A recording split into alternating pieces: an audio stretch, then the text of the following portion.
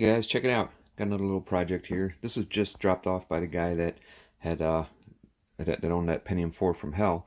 I'll put a uh, link up there so you can check out that video. Uh, I have no idea what's in here yet. But you can see something really weird about this case here is, you know, the part where you open it is here. But if you look at the back here, you can see, I mean, there's no, uh, there's really no video output there. No US. There's two USBs there, but uh, there's no video out. And it looks like there was a video card in there that was pulled out, but there's also a sound card in there and a USB expansion card along with a modem and a networking card. So just to try, I'm, I'm trying to get in here and figure this out. And it looks like you got to pop the front cover off and then the panels slide out towards the front, which is pretty interesting. So let's go ahead and get this thing opened up.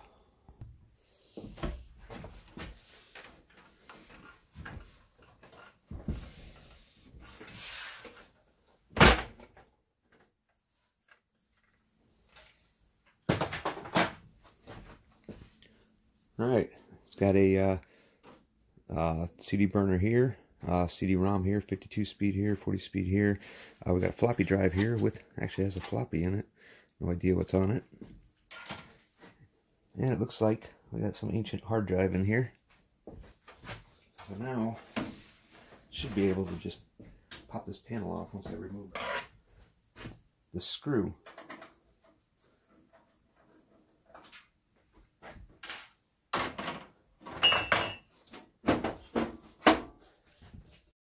Alright, first look inside. We've got a MSI board, uh, AMD CPU,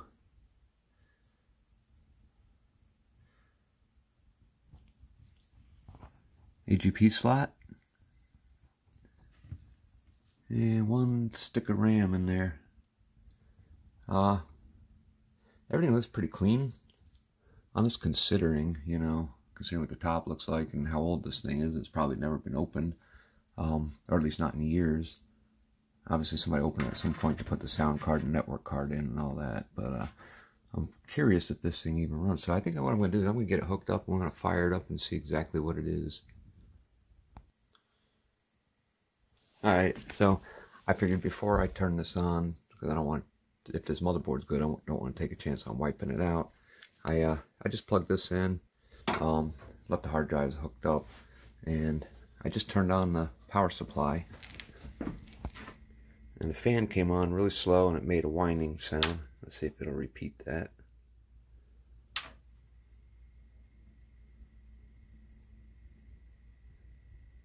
I don't really hear the whining sound, but I'm really not uh, trusting this power supply here. So what I'm going to do is hook up a different power supply to this just to test this out because that power supply has an issue, I don't want to wipe out this board if this board's still good. So uh, let me go get a different power supply hooked up here and we'll check it out.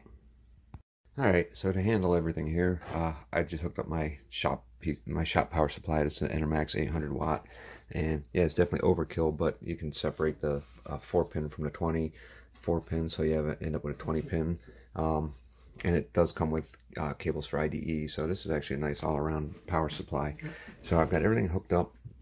Alright, so I'm going to give it the old reach around here and Try to find that power button. Oh, there we go. Springs into life.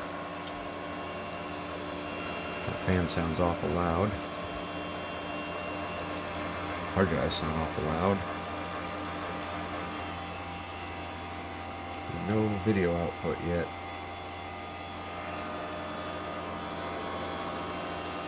So let me look into this a little bit and see if I can get anything to work on here. Alright, well unfortunately I think this motherboard is toast. I'll show you what happens when I turn this on. Let's see, it's even got a little diagnostic uh, LED on the back of this USB card that came with the motherboard and uh, that doesn't even tell me anything because that's apparently not a code. Um, you'll see everything comes on, the uh, south bridge starts to get warm, the north bridge gets warm, the CPU even gets warm, and you'll see it'll shut down a little bit because I've got no mounting pressure on it, that's not clipped on, it's just sitting on there. Uh, so it'll get warm, it'll, it'll shut itself down, but no video output, no beeps from the speaker, no nothing. I've swapped uh, video cards, I've swapped RAM, I've swapped CPU, Uh, I even tried different power supply just for shits and giggles, but of course, brand new power supply, it's, it's a good power supply. Um, and there it goes, it just shut down.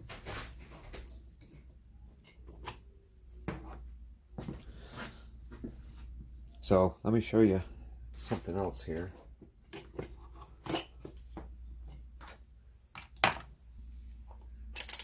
Alright, so if I set this on beep,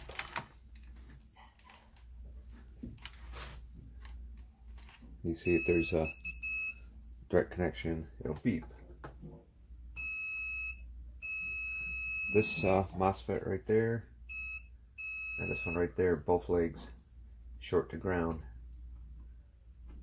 The other ones only have one leg that shorts to ground. I think that's the way it's supposed to be, but this is above my pay grade here.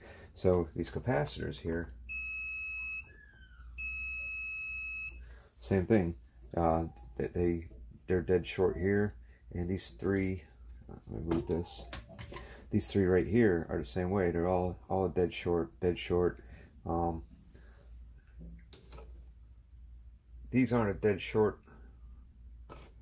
each other, but both legs are dead short to ground. So I replaced all these capacitors here. I replaced these, I replaced these, and I replaced these, thinking, yeah, it's the easiest thing to do is just, you know, and this is from the era when capacitors just go like crazy on these motherboards. So that was, of course, the first thing that I replaced. I checked all the other capacitors, and none of them have a short either. Of course, I didn't pull them off the board or anything to really test them, but um, I just look for a short. Everything seems to be in this area right here. Um, so after replacing all of these, it didn't change a thing. Um, I desoldered the legs off of this MOSFET and this MOSFET here. Just uh, desoldered them, just lifted the legs off the pads, and there's still a short. I took out all these capacitors again, and there's still a short in the same places. So uh, something is shorted in here, and I don't know what it is. It's above my pay grade, so yeah, that really sucks. Um, but I guess, you know, on the bright side, I did get another Sound Blaster card out of the deal, so that's there's something. But anywho, um, if you guys have any ideas, uh, you know, let me know below. If you know anybody that uh, that does a nice job repairing motherboards, let me know because I've actually got I've got a few others I'd like to get repaired. Uh, this is a socket 462, and I forgot to mention this is a uh, MSI KT3 Ultra board, and um, this one right here is a Foxconn AM3 board, and this one does pretty much the same thing as this one here, except I I don't I don't know if anything shorted on it or not. Uh, I didn't put much effort into it. Like I said, this is above my pay grade, but I'd really like to get this one fixed. And I've got one other board here. This one does absolutely nothing. And uh, this is a ASUS A7N8X uh, socket, another socket 462 board. And this one does nothing either. And this one right here, I, I think I'm going to uh, try and replace some of the capacitors on here because this one I didn't do on here is, is replace any of the capacitors. But I don't know if that's the, the problem with this one or not.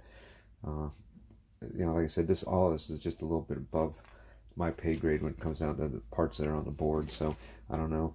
But um, anyways, you guys have any ideas, let me know, and uh, we'll see you on the next one.